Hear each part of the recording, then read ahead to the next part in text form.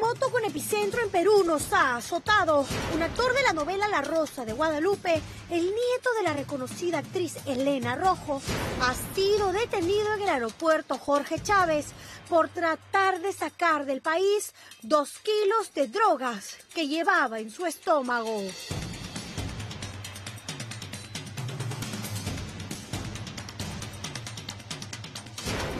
Hace una semana la familia de Alan Calepardo no tenía noticias de él. Esta era la decimosegunda vez que ingresaba a nuestro país.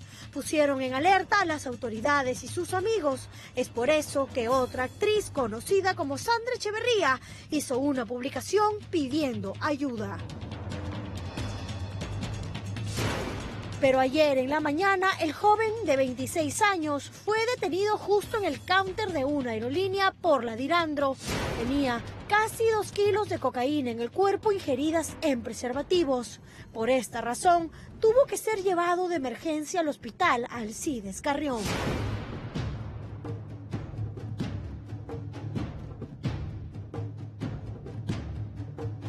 La noticia no demoró mucho en llegar al país de los tacos, porque los medios mexicanos informaban así esta noticia que paraliza a la farándula charra. La familia de la actriz Elena Rojo está en un momento muy delicado porque hace unos días reportaron como desaparecido a uno de sus nietos que se llama Alan Calef. Y resulta que el joven no estaba desaparecido, fue detenido en Perú lo que ha conmovido al mundo del espectáculo mexicano es que Alan es nieto de una de las actrices más emblemáticas de la tele charra, Elena Rojo, quien ha participado en la exitosa producción El privilegio de amar, junto con Andrés García. Y así como ella, Alan le seguía los pasos a su abuela. Se puede encontrar la participación del joven actor en el canal oficial de La Rosa de Guadalupe. Pues no me parece. Y no me parece que cualquier naco tenga las confiancitas como para hacerte de cenar. Y otra, dentro de la telenovela, como dice el dicho. Amiga.